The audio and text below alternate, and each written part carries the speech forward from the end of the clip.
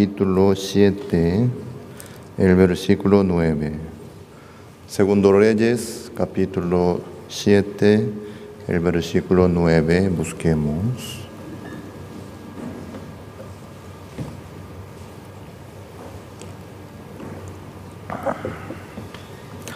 ¿Ya encontraron? Vamos a leer. Luego se dijeron el uno al otro, no estamos haciendo bien. Hoy es día de buena nueva y nosotros callamos. Y si esperamos hasta el amanecer, nos alcanzará nuestra maldad.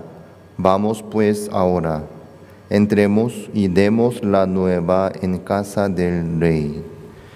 Vinieron pues y gritaron a los guardas de la puerta de la ciudad y les declararon, diciendo, nosotros fuimos al campamento de los sirios y aquí que no había allí nadie ni voz de hombre, sino caballos atados, asnos también atados y el campamento intacto.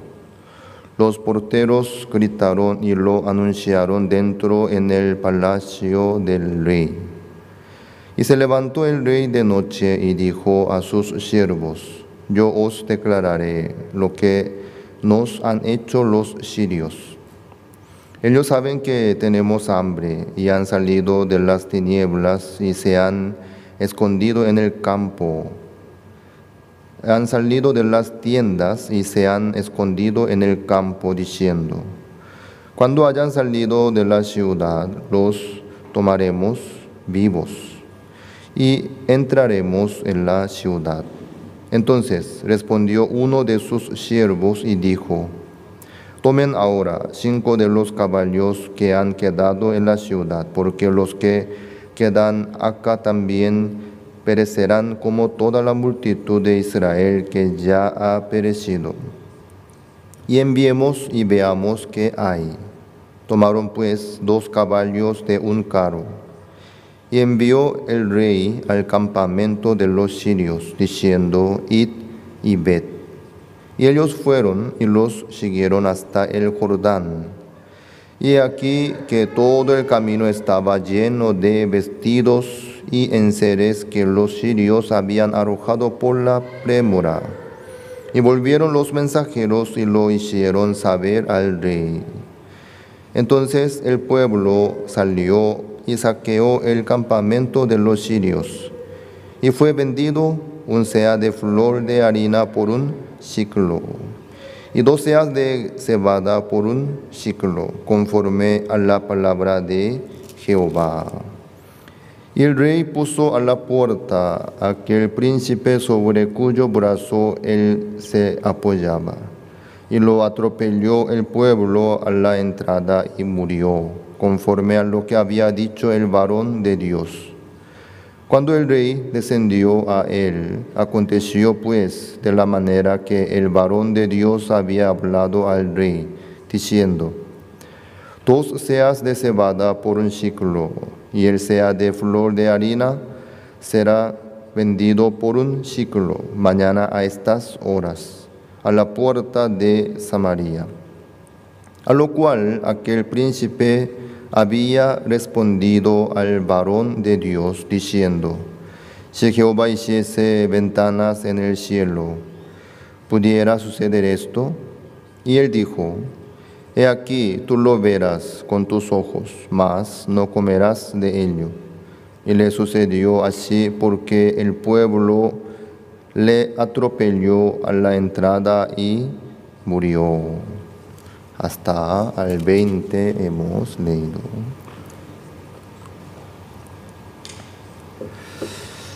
Ustedes ya escucharon bien el mensaje del año nuevo que Dios nos dio a través del pastor Supa. También habrán escuchado varias veces sobre este tema de la ciudad de Samaria que tenía hambre por causa de los sirios. En aquel momento los sirios vinieron y rodearon toda la ciudad de Samaria. Samaria era capital de Israel.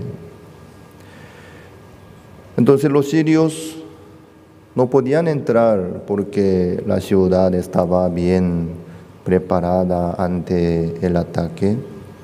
Por eso ellos tomaron una estrategia que necesitaba, que llevaba mucho tiempo. Después de rodear esperaban que salieran los israelitas para atacar recién en ese momento. Porque dentro de la ciudad no había el campo.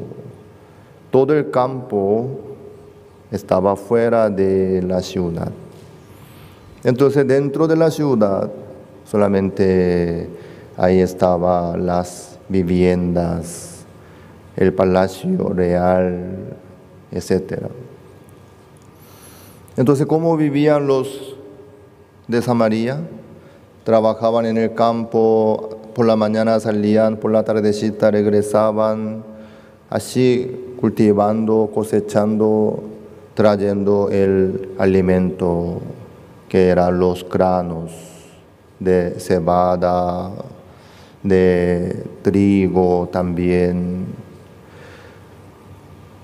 Entonces, en la ciudad, aunque había alimento eh, acumulado, pero debe tener su límite. Eso sabían muy bien los sirios. Los sirios no tenían apuro porque podían traer el alimento y todas las cosas constantemente desde su país. También como estaban en el campo, podían conseguir sin problema. Pasando el tiempo, se escaseó todo el alimento dentro de la ciudad de Samaria. Por eso ya no podía, el pueblo de Israel no podía conseguir más la harina, harina de trigo, de cebada tampoco, ni grano. Y por fin ellos tenían que comer estiércol, los pedazos de los granos que salen del excremento de las palomas y otras aves, pájaros. En Paraguay suelen comer y buscar alimento entre los excrementos de los pajaritos. No llegan a esa, nunca llegaron a esa situación, ¿no? Eh, en Corea tampoco yo escuché. Pero en Israel, sobre todo en la ciudad de Samaria, sucedió eso. Y en el depósito ya no había más los granos para preparar harina. Pero los pajaritos, las palomas, como andan volando sin problema, podían comer y venir y cagar dentro de la ciudad de Samaria.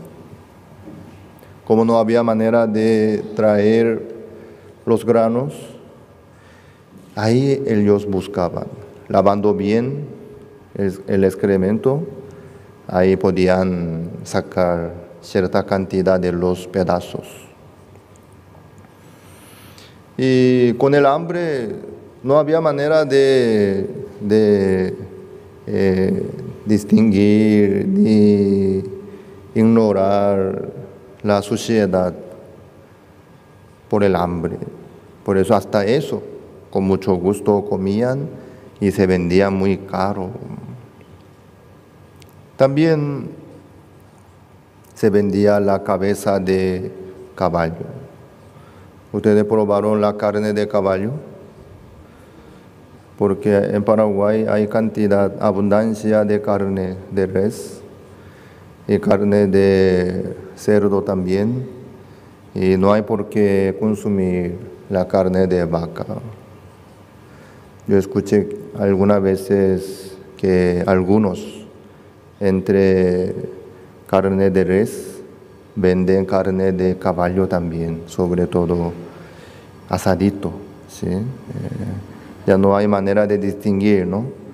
todo está bien oscuro con su color, bien asado, se quedó entonces los pedazos.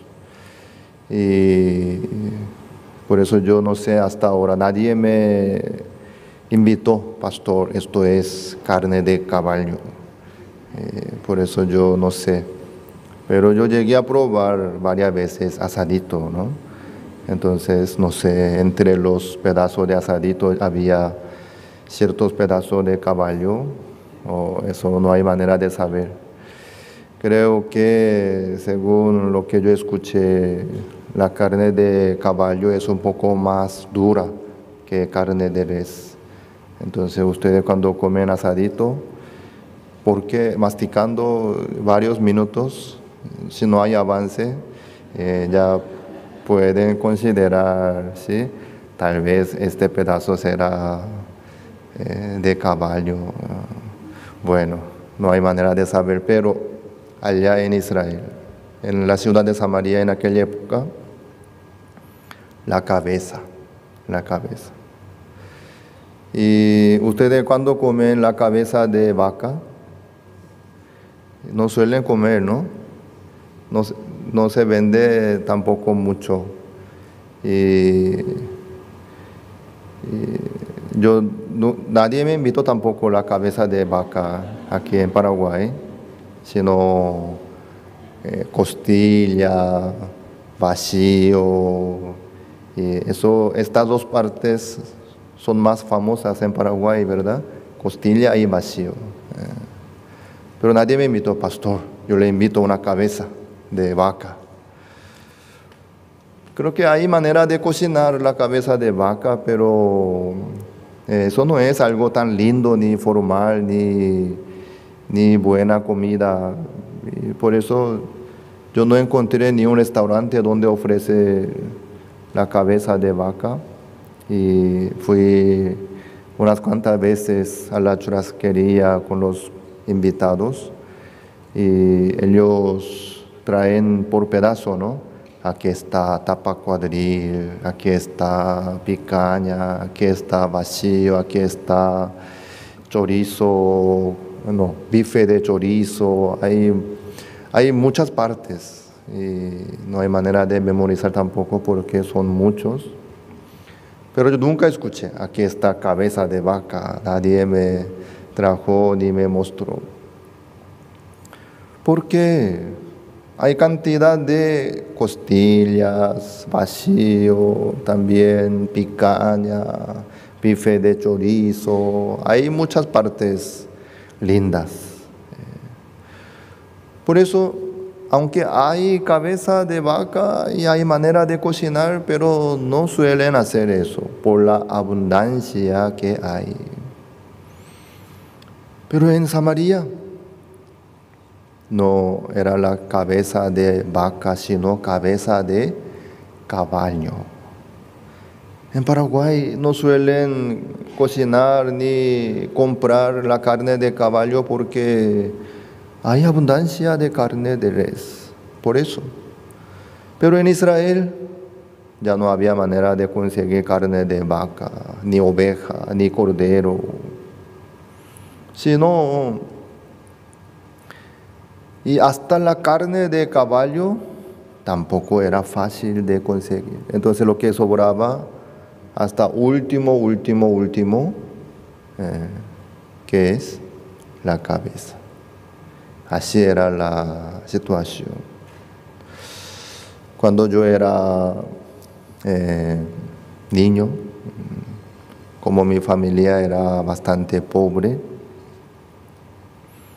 mi madre no podía cocinar la carne, ni la carne de res, eh, a ver, una vez al año, un pedacito aparecía en la sopa. ¿sí? una vez o dos veces.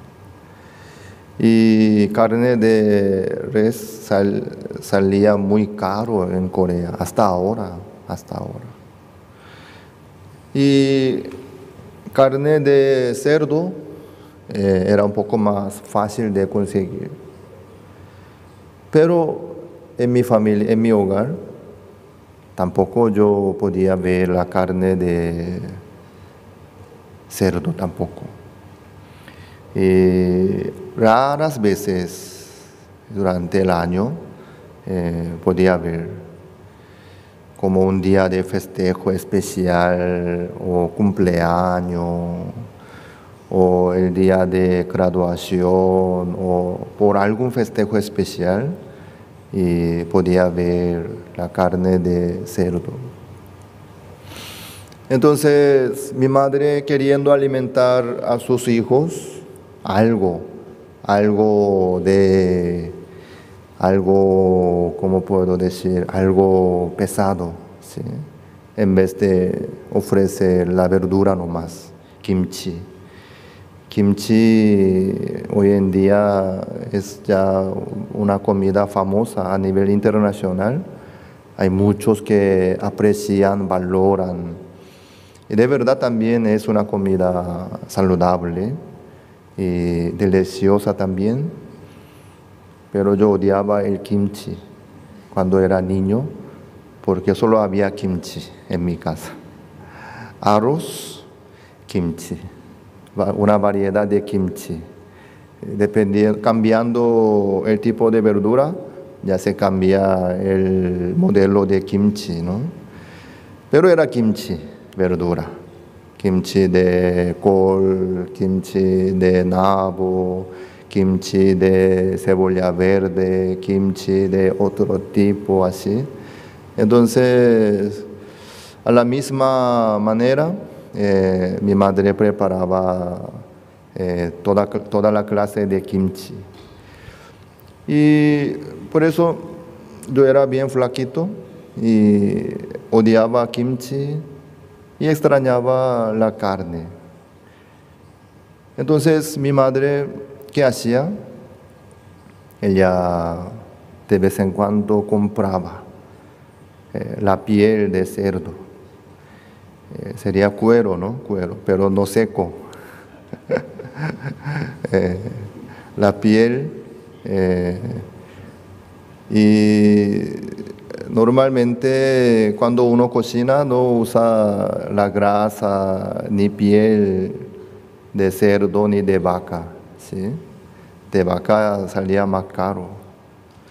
Entonces mi madre en la carnicería conseguía buena cantidad de piel de cerdo a un precio bastante eh, bajo.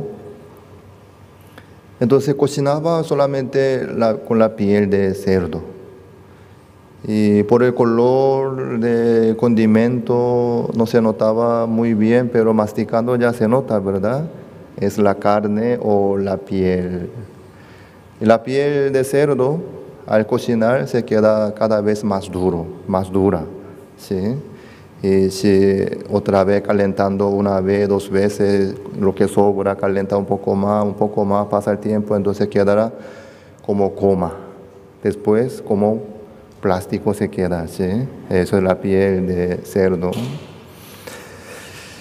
Y por eso yo odiaba la piel de cerdo también porque en vez de comer la carne, mi madre preparaba la piel. Y también lo que veía, lo que eh, eh, veía en la mesa, era las patas de gallina también. ¿Ustedes suelen comer las, la pata de gallina? y les gusta creo que muslo, ¿sí?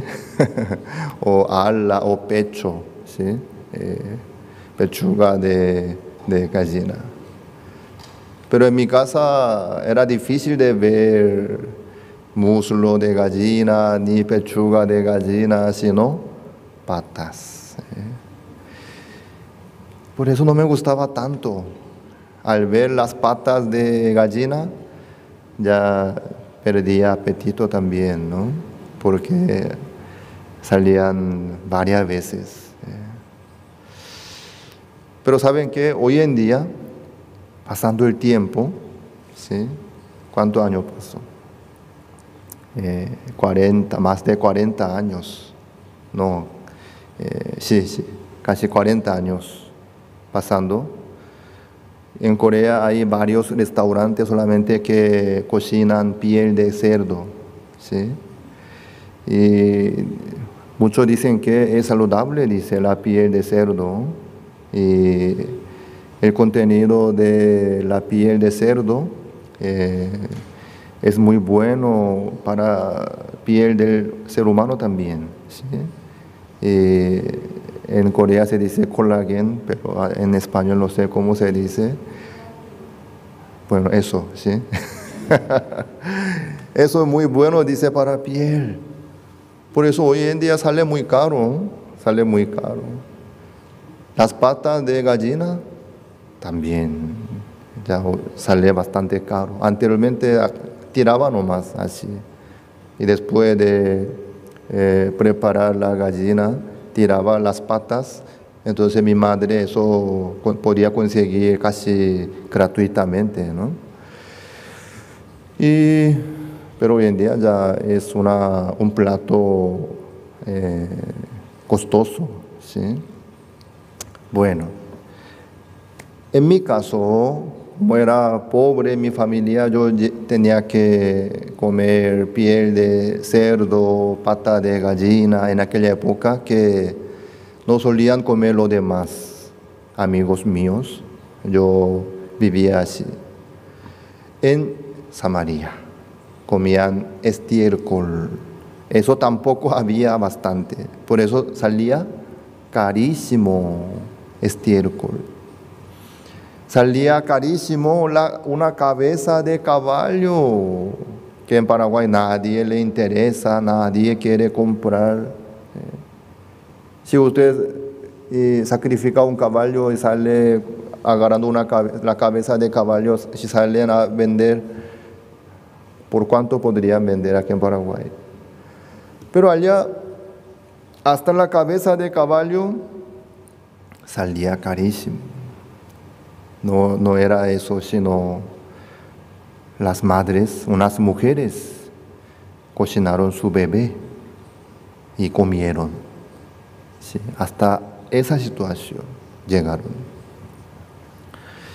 En ese momento, en ese momento, el siervo de Dios, Eliseo, el profeta.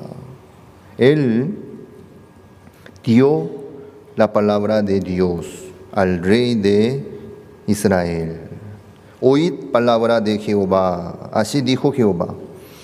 Mañana a estas horas valdrá el sea de flor de harina un ciclo y dos seas de cebada un ciclo a la puerta de Samaria. ¿Eso a qué se refiere? Ya no hay por qué buscar estiércol, ni la cabeza de caballo. Sino, va a haber abundancia de harina y de cebada. Va a haber abundancia del alimento. ¿Cuándo? Mañana a estas horas. Escuchando esta palabra, el rey de Israel se enojó, se enojó. Él decía, eh, ciertamente este mal de Jehová viene, ¿para qué he de esperar más a Jehová? Eso era el corazón del rey de Israel en aquella época, era muy duro ante Jehová. Jehová, cuando nos permite alguna dificultad, alguna situación, nos permite queriendo tener comunión con nosotros. Nos permite la dificultad, la situación, queriendo que nosotros busquemos al Señor, nos acerquemos al Señor, meditemos el corazón del Señor y encontremos la voluntad del Señor. Queriendo enseñarnos algo, Señor nos permite. Eso no es maldición, sino para el bien nuestro, Señor, nos permite, para humillar el corazón nuestro, queriendo tener comunión con nosotros. Pero el rey de Israel cada vez se quedaba más duro delante de Dios. Este mal viene de Jehová. ¿Para qué he de esperar más a Jehová? Justamente en ese momento, Eliseo le dio la palabra de Dios, diciendo, mañana a estas horas valdrá el sea de flor de harina un ciclo y dos seas de cebada, un ciclo a la puerta de Samaria. Nadie creyó. El rey ignoró totalmente lo que dijo Eliseo. Un príncipe sobre cuyo brazo el rey se apoyaba, también. Y él dijo, si Jehová hiciese ahora ventanas en el cielo, ¿sería esto así? Así se burlaba de la palabra de Dios. Si Jehová hace una ventana en el cielo, por eso cae, hay granos de cebada, granos de trigo, ahí se, cae cantidad de harina. Tampoco va a suceder eso. ¿Eso a qué se refiere? Para suceder eso debe haber más abundancia, más abundancia. Eh, aunque caiga la harina y la cebada como la lluvia, tampoco iba a alcanzar para que sucediera eso. Así se burlaba un príncipe sobre cuyo brazo el rey se apoyaba. Pero ahí estaban cuatro leprosos, cuatro leprosos. Ellos escuchando la palabra. Como ellos estaban a la puerta, ellos escucharon la palabra también. Entonces, Dios dice que mañana a estas horas va a haber abundancia del alimento. Entonces, quiere decir que hay abundancia del alimento y Dios habrá preparado cerca de aquí para que mañana suceda eso, debe haber cantidad de alimento que Dios preparó. ¿Dónde estará? Ellos no podían ver. Pero, como no tenía ninguna esperanza en sí y en la familia de ellos dentro de la ciudad, les quedaba una sola opción, el campamento de los sirios. Nosotros ya sabemos muy bien que aquí no hay alimento, adentro de la ciudad tampoco, pero sabemos bien que en el campamento de los sirios hay alimento, sin duda. Pero el tema es que ahí están nuestros enemigos, los sirios. En vez de morir aquí, nos vamos. Vamos a ver si los sirios tienen misericordia de nosotros. Si ellos nos aceptan, ahí vamos a poder comer, por lo menos. Era una idea muy locura, loca, tonta también, pero no les quedaba otra opción. Ellos se levantaron y se dirigieron hacia el campamento de los sirios. Ellos no podían caminar bien porque eran leprosos. Los leprosos, ustedes saben cómo es, ¿verdad? Cómo avanza la enfermedad. Se pudre su piel, su cuerpo. Entonces, sin darse cuenta, se cae la oreja, se cae la nariz. Antes de salir a trabajar al campo, había cinco dedos. Cada mano tenía cinco dedos. Pero al terminar el trabajo, regresando a casa, lavándose sus manos. ¿Oh? ¿Dónde está otro? Falta uno, mira, ¿por qué se quedan cuatro nomás? Eso es la lepra. Aunque se pudre su cuerpo, no puede sentirse el dolor. Por eso sin darse cuenta, se cae un dedo, otro dedo. Entonces, creo que les faltaban varios dedos de su pie, de las manos también, o no sé, ya una parte de su pie también se habrá caído, no sé. Para ello tampoco era fácil llegar hasta allá, al campamento de los sirios, pero llegaron, llegaron hasta allá. Mientras que ellos se caían, se levantaban en el camino, Dios utilizó como un efecto para los sirios. Los sirios escucharon un ruido muy grande, fuerte del ejército. Se asustaron. ¿Qué es esto? ¿Por qué se tiembla todo el mundo? El rey de Israel contrató el ejército de los egipcios, de los demás. Ahora viene un ejército grande contra nosotros. Se asustaron ellos y huyeron. Dejando las cosas ahí como ellos estaban muy, muy apurados. Ellos arrojando todas las cosas, se fueron apresuradamente.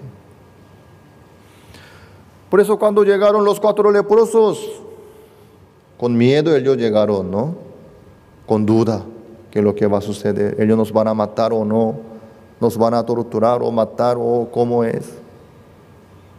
Pero por lo menos ellos querían comer porque tenían hambre. Por lo menos vamos a ver qué hay allá. Vamos. Por lo menos sabemos que en el campamento de los sirios hay alimentos. Vamos, vamos a ver. Llegaron y vieron que no había nadie. Maravillosamente, increíblemente, el campamento de los sirios estaba vacío. Solamente los sirios desaparecieron y los caballos atados, tiendas llenas de las comidas, vestidos, platas y oro. Los sirios para sobrevivir no pudieron llevar nada. Así ellos se fueron. Viéndolo, se quedaron con contentísimos los cuatro leprosos. Entraron en una tienda, comieron, no sé qué había, creo que había muchas comidas, ¿eh? asado, muslo de gallina, chipa, los sirios comían chipa, no sé muy bien. Eh, montón de comida. Ellos comían, comían, comían. Primero ellos vieron las comidas, porque por el hambre. Lo que uno ve depende de su necesidad. ¿sí? Viendo las mismas cosas entre todas, entra por su ojo según su necesidad. Primero, ellos veían la comida, cantidad de comida. ¡Wow! Comían, comían, comían. Después de saciarse, ellos vieron, ¡wow! ¡Qué lindo vestido! Antes de comer no podían ver vestido ni prestar atención, pero después de comer, ¡wow! ¡Qué lindo vestido! Ellos vieron vestidos habrán probado también, poniéndose esto, aquello. Eso es mío, eso es mío, eso agarraba. Pero una, a una vez, ¿cuántos vestidos puede ponerse uno? Aunque pueda encimar, no puede ponerse varios vestidos. Agarrando, uno se pone, agarra uno, esta mano, otra mano, pero hay más todavía. Entonces, ¿qué hacían? Llevaban y escondían en un lugar de secreto. Depositaban. Después de agarrar el vestido, ellos veían el oro y la plata también. ¿Qué es esto? Los sirios, sabiendo que iba a durar muchos años la guerra, trajeron oro y plata para comprar alimento, para comprar las armas y para el mantenimiento. Entonces los cuatro leprosos tomaban oro y plata. Su bolsillo no alcanzaba, ¿sí? Y además es pesado, ¿no? Yo nunca llegué a alzar oro pesado en mi vida, nunca llegué a probar, pero escuché que es muy pesado. Entonces no podía agarrar y tomar todo porque había mucho más todavía. ¿Qué hacían entonces? Tomaban y escondían. Los cuatro leprosos estaban muy ocupados corriendo por acá para allá, tomando, tomaban, escondían, tomaban, escondían acá allá. No sé en dónde escondían. Cavaban la tierra ahí ponían. Había un tonto después de esconder el, tesoro, después de cavar y poniendo así la tierra y puso, tuvo miedo, ¿no? Para que si viene otro, si saca su tesoro, ¿qué voy a hacer? Ese tonto, pensando, pensando bien, ¿cómo yo puedo asegurar bien mi tesoro? Ahí puso un aviso, aquí no está puesto eh, mi tesoro, así puso un aviso, ¿sí? Ahí para que nadie toque. No sé, estos cuatro leprosos habrán puesto ese aviso, no sé en dónde habrán escondido, pero estaban haciéndolo. Luego, no sé cuánto tiempo habrá pasado. Uno de ellos decía, el nueve que hemos leído, no estamos haciendo bien Hoy es día de buena nueva. Y nosotros callamos y si esperamos hasta el amanecer, nos alcanzará nuestra maldad. Vamos pues ahora, entremos y demos la nueva en casa del rey. El 9 del capítulo 7 de Segundo Reyes. Los cuatro leprosos, después de comer, después de tomar y esconder vestidos, oros, platas, todo lo que valía, ellos tomaban y escondían. ¿Para quién? Para sí mismos. Mío, mío, mío, mi vestido, mi vestido, mi oro, mi plata, mi joya, mi tesoro, mío. ¡Wow! Estoy feliz porque tengo montón. Los cuatro leprosos hacían competencia para tomar más posesión por sí mismo. Pero uno de ellos se arrepintió. No estamos haciendo bien. Hoy es día de buena nueva. Y nosotros callamos. Ellos tomaban por sí mismos nomás todo lo que había en el campamento de los sirios.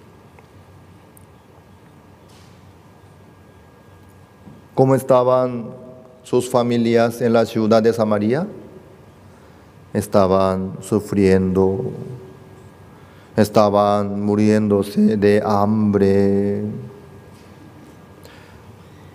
por eso Ellos decían,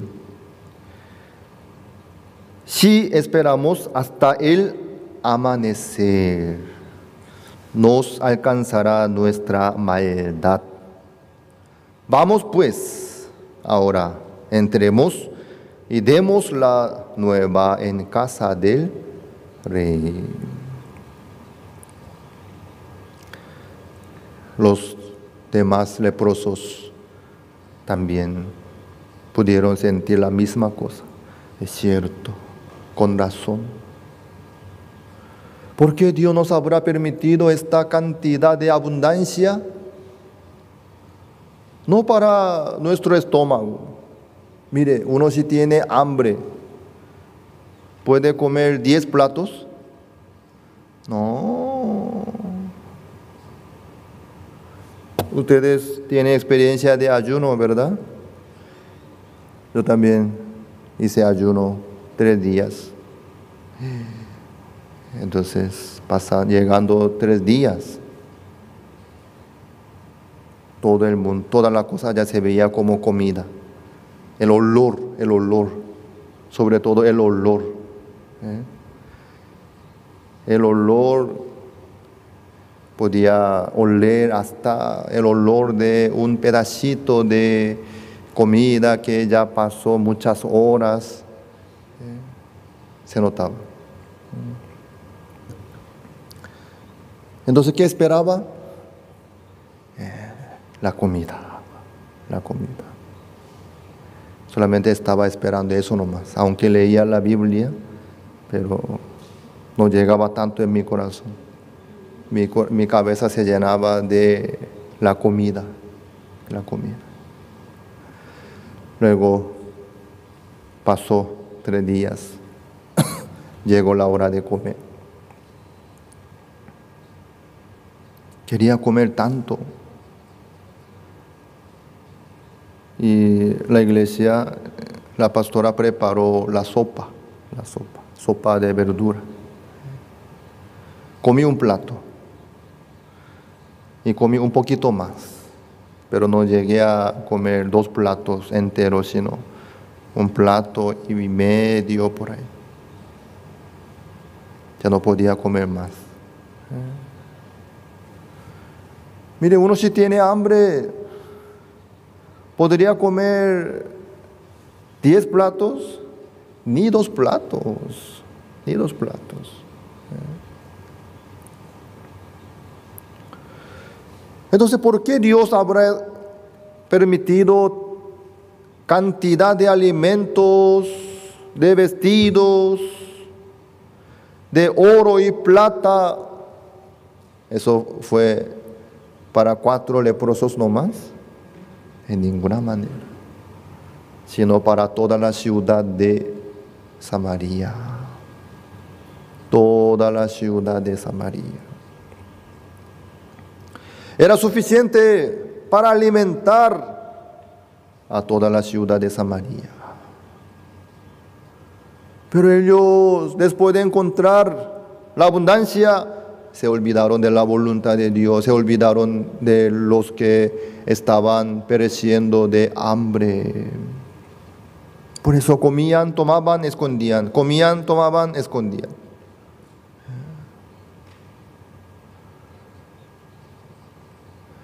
Los romanos que cuando tenían abundancia querían comer todas las comidas ricas en la época del imperio romano, digo. Entonces, nuestro estómago tiene su límite. Aunque haya comida riquísima, uno no puede comer todo. Aunque proba poquito nomás de cada comida, probando poco, poco, poco ya se llena y no puede probar. La boca quiere, pero el estómago ya no tiene más espacio. Entonces, ¿qué hacían ellos? Y ellos preparaban. ¿cómo se dice? Pluma, ¿se dice? Pluma. Eh, el, pelo de pájaro, de paloma. pluma se dice. Eh, una pluma más suave, más suave, más liviana, más suave, atando con hilo fino, comían con la comida. Tragaban. Entonces la pluma llegaba hasta el estómago, ¿no?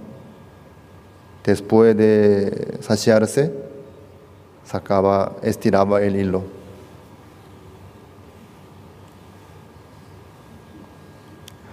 ¿Qué es lo que va a suceder? Si quieren, ustedes pueden probar si qué es lo que es. Entonces, este, esta pluma saliendo por acá, subiendo así, vomitaba.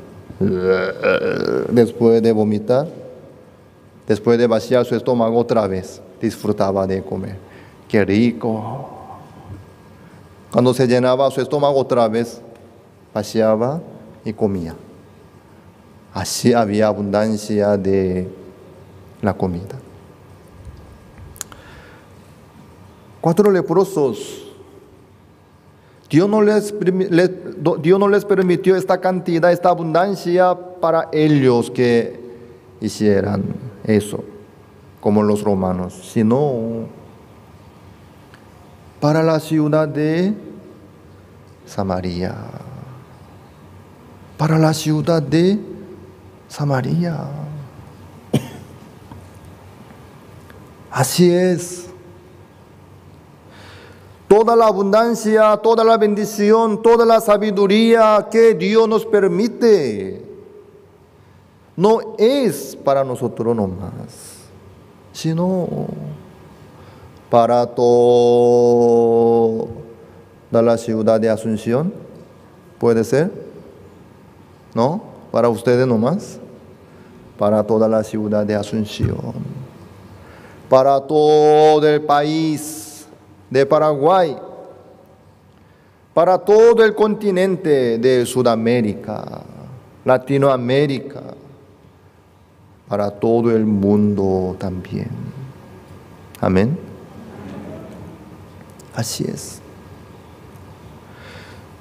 En el principio los cuatro leprosos, después de encontrar la abundancia que Dios les permitió, se quedaron contentísimos, tomando por sí mismos. Totalmente ellos se olvidaron de la ciudad de Samaria y la promesa de Dios también. Pero llegaron a arrepentirse. No estamos haciendo bien. Hoy es día de buena nueva. Y nosotros callamos. Y si esperamos hasta el amanecer, nos alcanzará nuestra maldad. Esta es la maldad. Esta es la maldad. Claro, homicidio también es maldad, hurto también es la maldad. Pero esta maldad es la maldad más grande de los justos, de los cristianos. Hurtos, homicidios, todo esto fueron lavados, perdonados por la sangre de Jesucristo. Pero el mar de los cristianos es callar, tomar por sí mismo lo que Dios le permite. Esto es el mal de los cristianos estos cuatro leprosos. Se arrepintieron y se levantaron otra vez y caminaron hacia la ciudad de Samaria. Ellos les contaron a los guardas, diciendo, nosotros fuimos al campamento de los sirios y aquí no había allí nadie ni voz de hombre, sino caballos atados, asno también atados y el campamento intacto.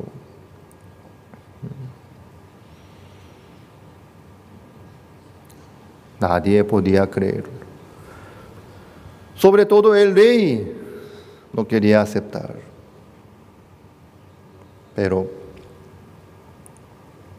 Por fin, por fin. Salieron todos los israelitas.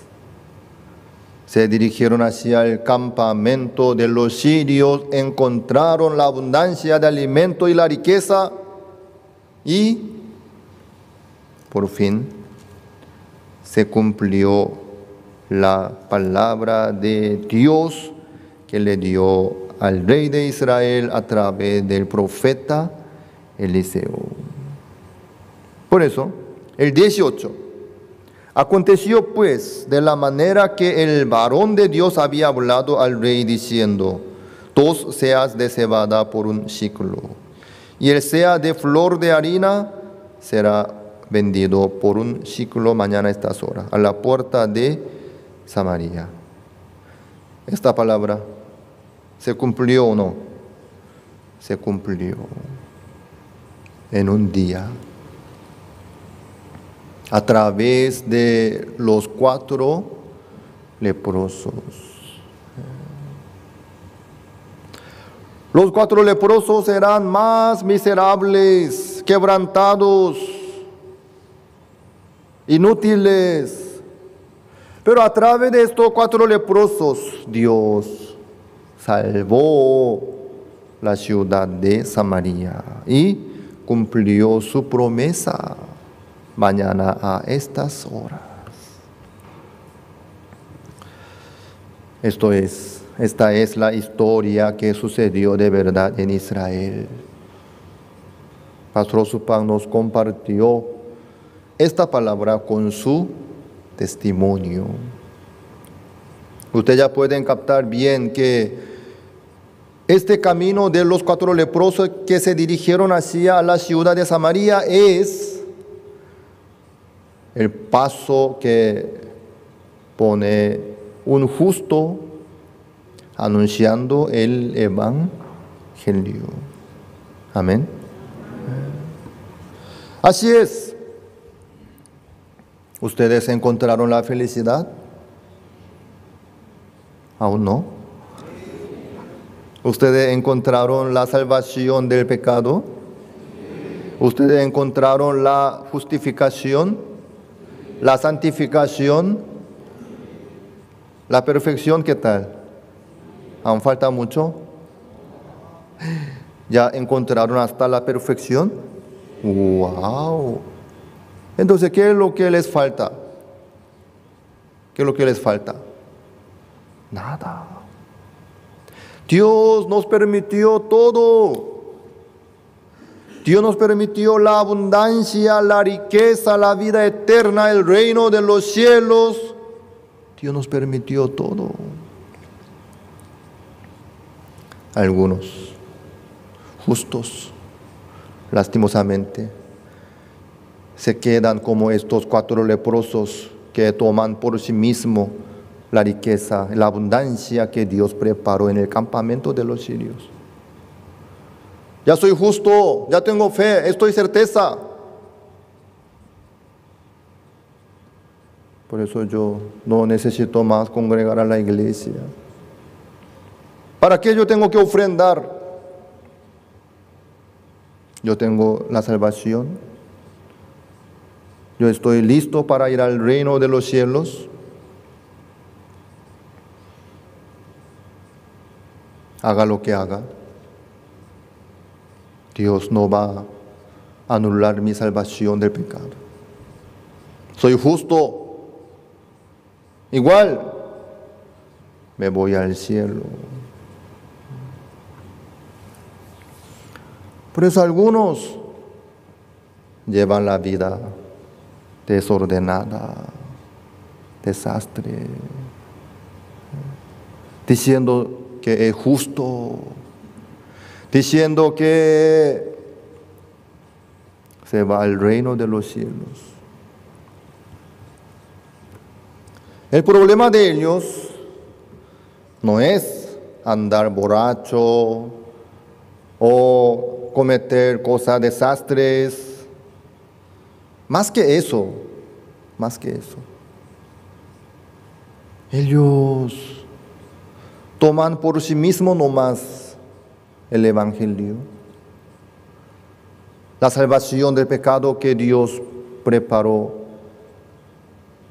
entregando su Hijo unigénito. Toda la sabiduría, toda la bendición, la fe que Dios nos permitió a nosotros, no es para nosotros nomás, sino para toda la ciudad, para todo el país, para todo el mundo. Dios nos permitió a nosotros con anticipación. Amén. Entonces lo que Dios nos permitió a nosotros, no tenemos que guardarlo más, no tenemos que esconderlo más, sino tenemos que abrir la boca, tenemos que anunciar la verdad a los que están sufriendo. Amén. Eso es lo que Dios quiere hacer a través de nosotros. Hacer propaganda no es fácil. Hacer promoción no es fácil. No es fácil. Mover una ciudad entera, un pueblo completo, no es fácil. Pero estos cuatro leprosos ¿Qué hicieron? Ellos hicieron a mandar toda la ciudad, todos los ciudadanos de Samaria al campamento de los sirios. ¿Sí o no? Eso es lo que hicieron ellos.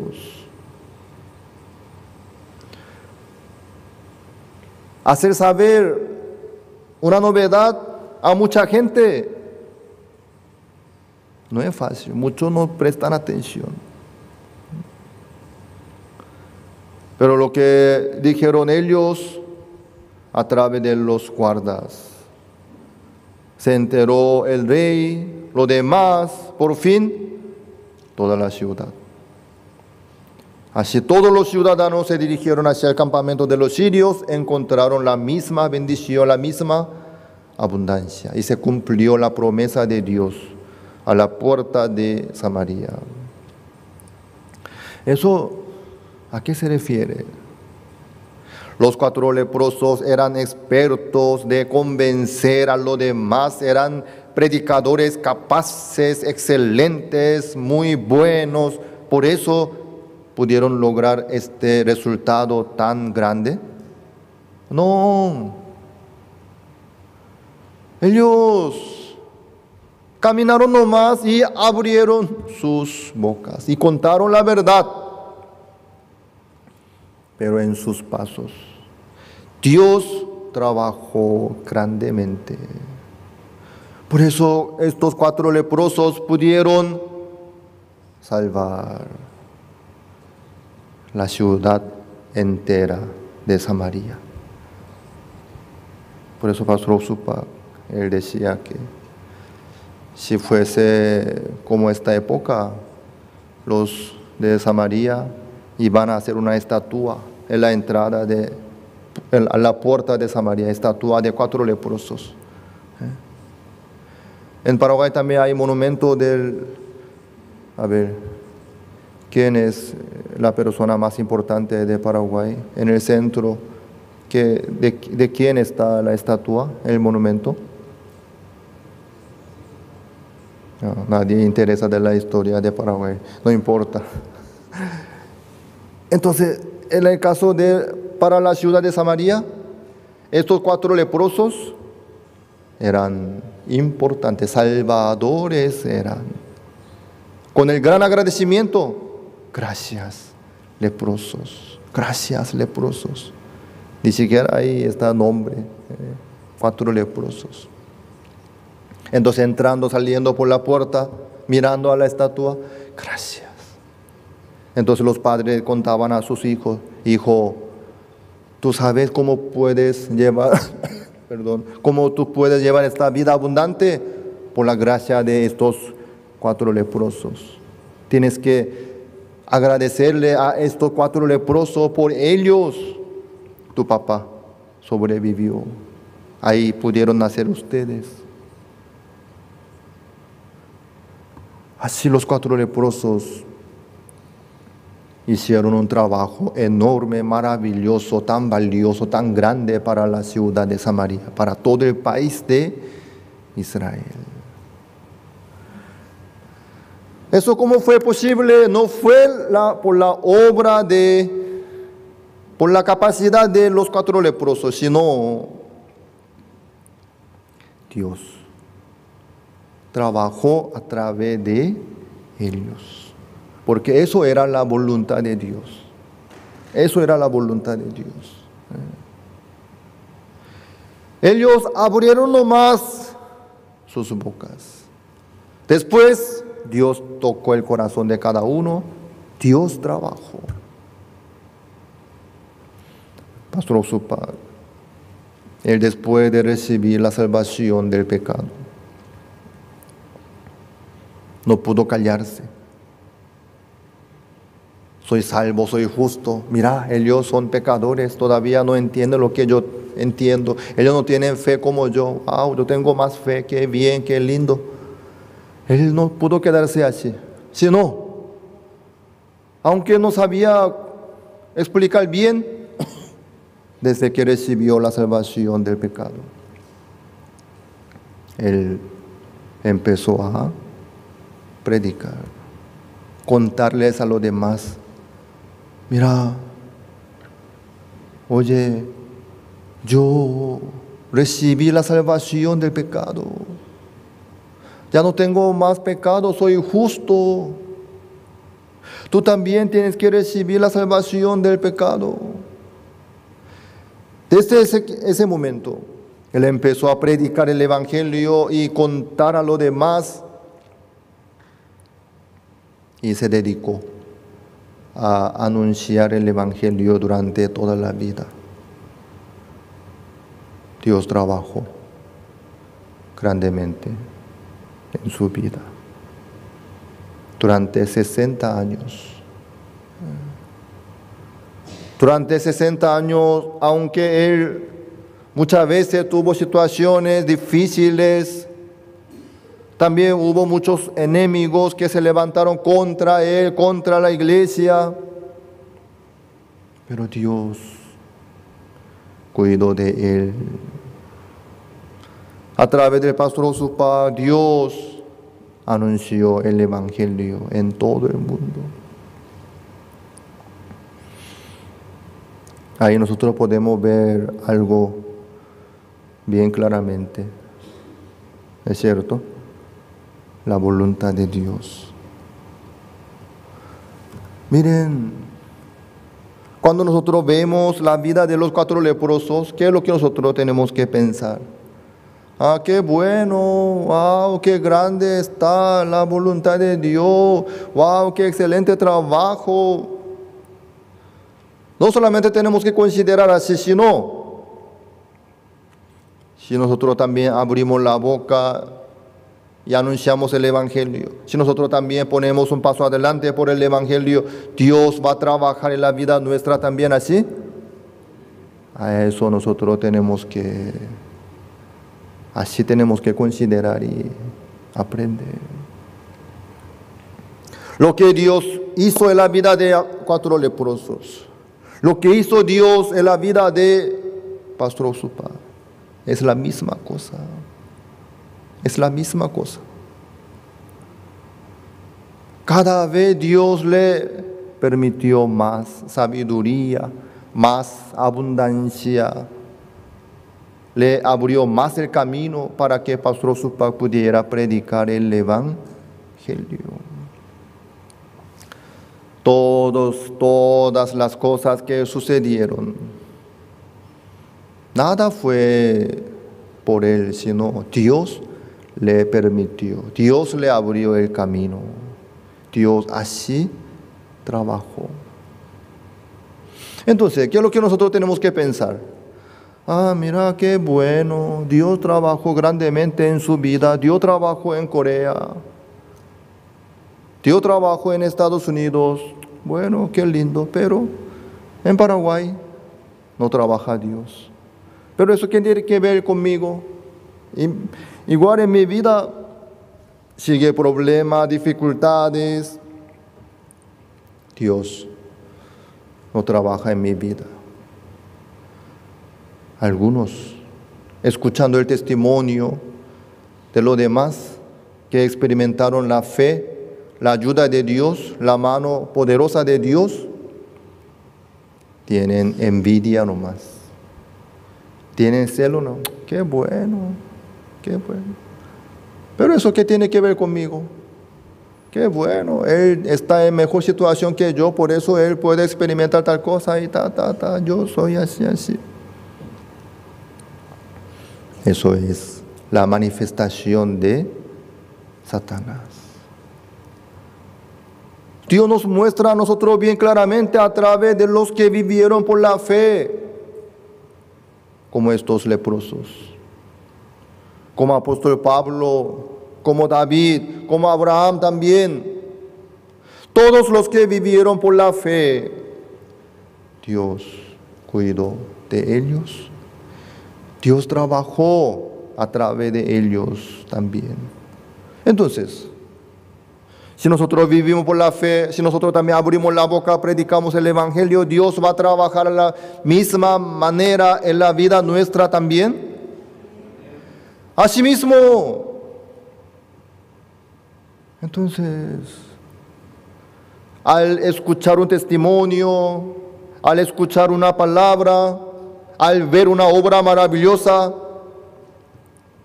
¿qué es lo que entonces nosotros tenemos que hacer? tenemos que imitar, seguir por el mismo paso.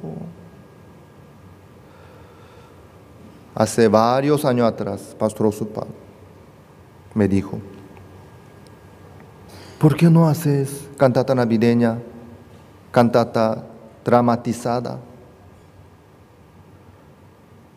Porque en aquella época, en Perú, en Colombia, a través de la cantata dramatizada hubo muchos frutos. Mucha gente oyeron el Evangelio. Pastor Usupa, escuchando ese testimonio, nos decían a los misioneros de Sudamérica, ustedes también hagan la cantata navideña dramatizada. ¿Saben ustedes qué es lo que yo decía por dentro en ese momento? Sí, sería lindo, pero Paraguay es diferente, no es como Perú ni como Colombia. Yo viendo la situación, yo tenía excusa, ¿no? En Paraguay no hay teatro bueno en cada ciudad. No es como Estados Unidos, ni como Perú, ni Colombia. Nosotros ni siquiera tenemos lindos equipos de sonido ni de luces para noche cultural.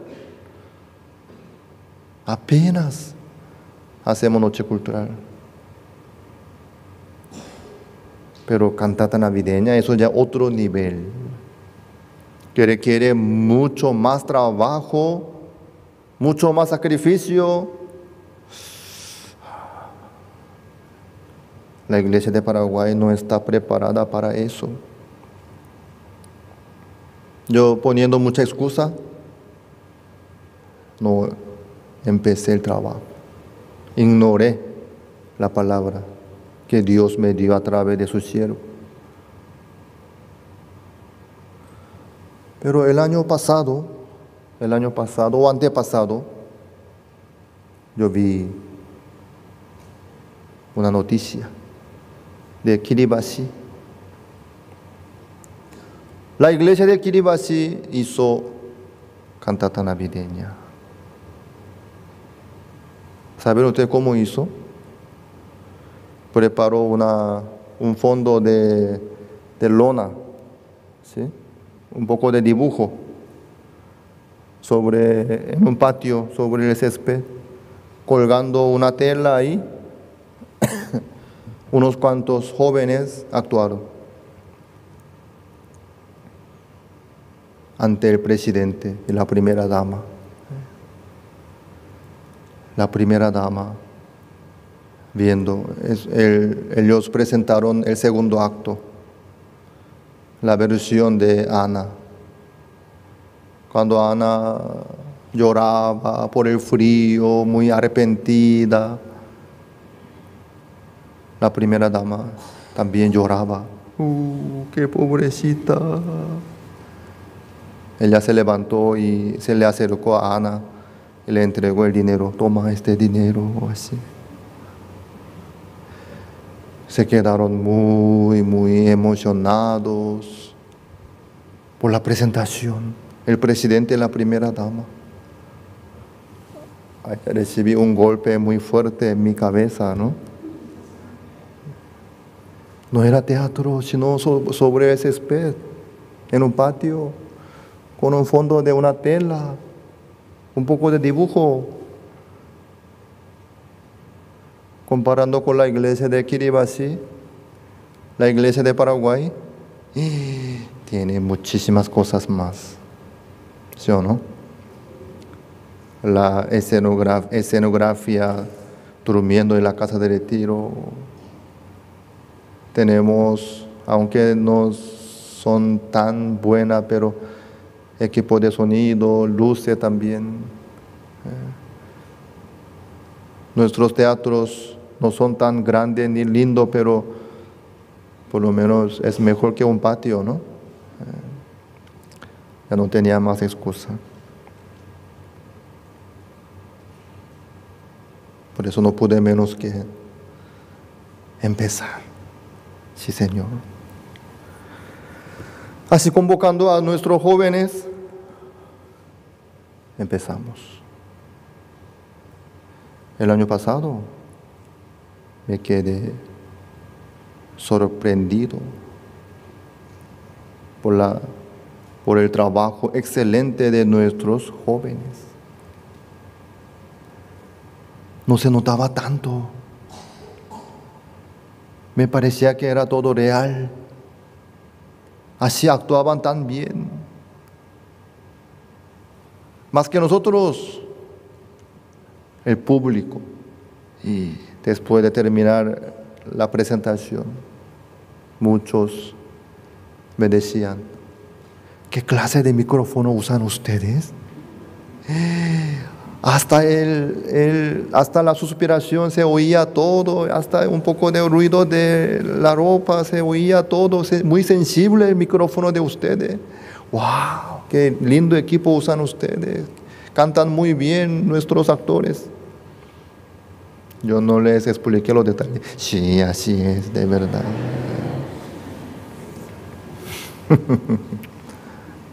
hermana Fátima cortando el alambre con la cinta de color de piel, así forando, colocaron nomás. Eh, eh. Pero la verdad que muchos se quedaron emocionados. El año pasado, después de terminar la gira de cantata navideña, todos nosotros nos quedamos agradecidos. Los jóvenes, los hermanos, y las autoridades de cada ciudad también. Este año también, también. Miren, la iglesia de Paraguay si pone un paso adelante como la iglesia de Perú, de Colombia. ¿Dios trabaja de la misma manera o no? Sí. Nunca es tarde, nunca. Nunca viendo algo lindo, algo, algún trabajo exitoso de otros países, no hay por qué mirar mal o tener envidia nomás. Qué bueno, ellos tienen muchas cosas, por eso pueden hacer nada, pero nosotros no. Tenemos que cambiar nuestro corazón. ¡Wow! Dios trabajó en Corea tanto, entonces, ¿puede trabajar en Paraguay también? ¿Por qué no? La iglesia de Estados Unidos cuando desafía, cuando un pas- pone un paso adelante, organizando gira de cantata navideña, otros ELF, trabajos grandes. Nosotros escuchamos ya varias veces el testimonio del pastor Yongu Pak, ¿sí o no?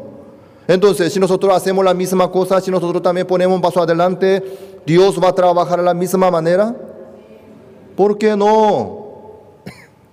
Dios está dispuesto a trabajar. Por eso el año pasado, en el, año, en el año pasado yo me quedé muy avergonzado. Soy culpable. Así me quedé. ¿Por qué? Por mi culpa. La iglesia se quedó. La iglesia de Paraguay se quedó atrasada. Varios años. Eso nosotros podíamos experimentar más antes. ¿Me hago entender? Espero que ustedes no cometan esa maldad, ese error como yo. No hay por qué echar culpa a los demás, ni poner excusa para no trabajar por el Evangelio, para no anunciar el Evangelio, para no poner un paso adelante. Tanto Dios quiere trabajar en la vida nuestra. Antes de organizar un trabajo siempre nos vienen pensamientos negativos, preocupaciones, ¿sí o no? Ah, eso será posible. Falta esto, aquello, ¿quién va a hacer esto? ¿Quién me va a cubrir esto? ¿Quién me va a ayudar? Y falta y un montón de cosas. Hermanos, no se queden ahí ante situaciones, problemas, dificultades sino tienen que alzar sus ojos y ver cómo avanzó la iglesia de Corea, cómo avanzó la iglesia de Estados Unidos, cómo avanzó la iglesia de Argentina, Perú, Colombia, Brasil. La iglesia de Paraguay también puede mejorar, puede avanzar, puede desarrollar, puede poner un paso adelante. ¿Por qué no? Pero Satanás mete pensamiento. No, tú no puedes. Paraguay no. Paraguay es diferente. Paraguay es pobre. Paraguay no va a funcionar, no va a responder. Mire, es mentira, pura mentira. Todo el testimonio lindo, todo el trabajo maravilloso, no fue por el trabajo excelente que organizaron cada uno, cada país, sino ellos pusieron un paso adelante, luego Dios trabajó, Dios ayudó, ¿sí o no? ¿No? Así fue. Nosotros también. Si desafiamos y ponemos un paso adelante, Dios nos va a proveer, Dios nos va a ayudar, Dios va a trabajar en Paraguay. Amén. Entonces, ¿qué cosa nosotros no podemos hacer? No hay ninguna cosa que nosotros no podemos hacer. ¿Por qué? Dios con mucho gusto trabaja en la vida nuestra, nos ayuda a nosotros. Nosotros nomás nos limitamos. Hasta aquí nomás. Ya, no da. Mi capacidad no da. ¿Ustedes quieren vivir por lo que tienen ustedes nomás?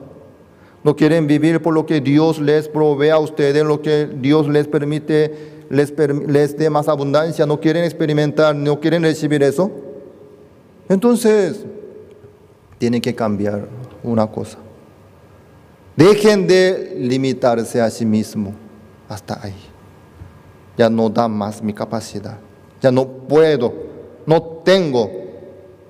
Eliminen esa palabra, ese pensamiento en el corazón de ustedes. Amén.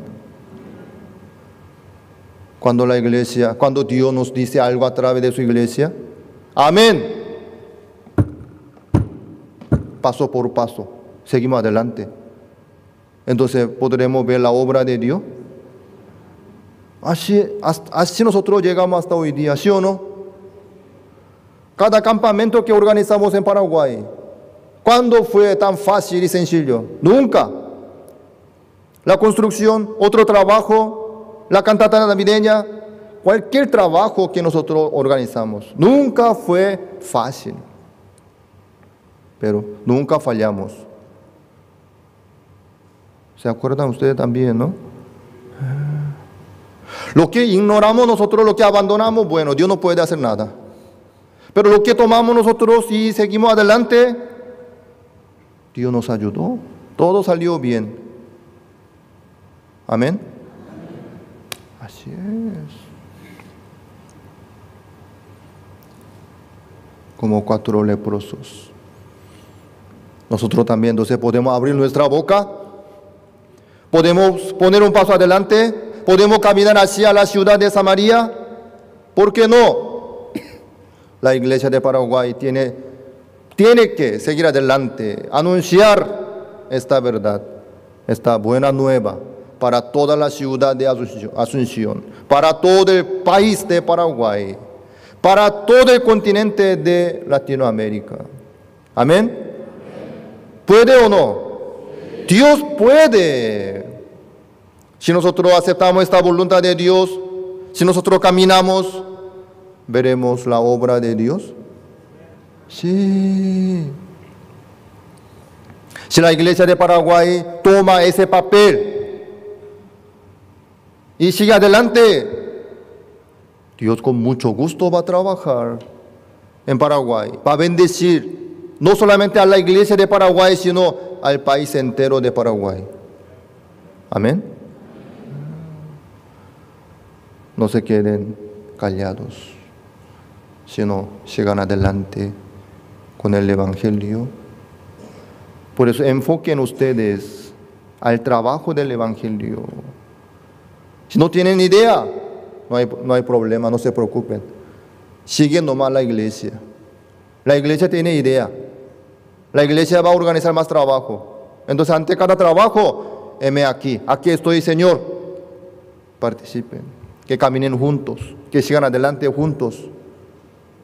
Amén. En este año. ¿Cuál es la bendición más grande que Dios nos permite? el campamento mundial en Argentina. Amén. Ahí está la voluntad de Dios. Yo sé que algunos ya abandonaron. Yo no voy porque no tengo dinero. ¿Quién tiene dinero? ¿Quién le sobra dinero? Nadie. Orando al Señor, cada uno prepara. ¿Saben ustedes? Los que toman decisión, los que participan, los que acompañan con la iglesia, recibirán sí o sí todo lo necesario para el campamento mundial. Amén. Si uno ignora la voluntad de Dios, abandona y retrocede, entonces no va a poder encontrar nada. No solamente el campamento mundial en Argentina, sino todos los trabajos que Dios nos permite en este año ustedes tienen que estar más adelante, tienen que estar presentes, tienen que estar ahí, en el medio, poniendo un paso adelante junto con la iglesia. Entonces verán la obra maravillosa de Dios y la abundancia de la bendición de Dios también. Amén. Ahí está la clave. Ahí está la clave. Quería terminar antes, pero mm, se me pasó el tiempo. Y además, no veo bien el número. Eh, para mí ahora 8.35, así se ve. Eh. Bueno, hermanos, no se queden callados. No se queden ahí tirados, sino levántense. Vamos a seguir adelante, paso por paso. Eh, verán la obra maravillosa de Dios. Oremos. Gracias.